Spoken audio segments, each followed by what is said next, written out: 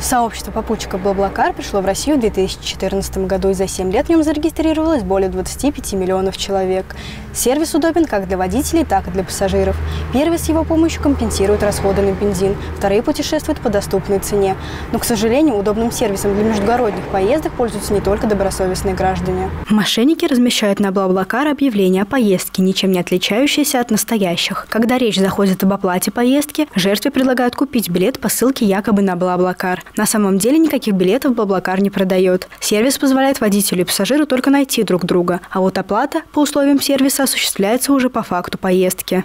Один из случаев мошенничества произошел в Екатеринбурге. Девушка хотела уехать в Нижний Тагил и нашла подходящее объявление за 100 рублей. Водитель отправил по почте ссылку, которая внешне напоминала стандартную форму бронирования заказа.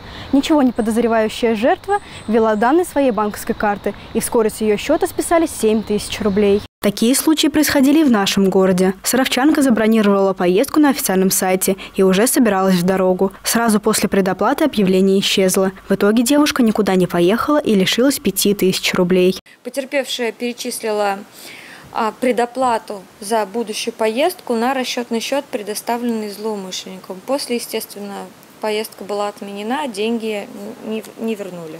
Полиция предупреждает, что мошенники часто используют поддельные ссылки на популярные сайты, поэтому переписку рекомендуется вести только через официальные интернет-площадки и приложения. Екатерина Шмакова, Константин Островский, Александр Мальков. Служба новостей Сарова 24.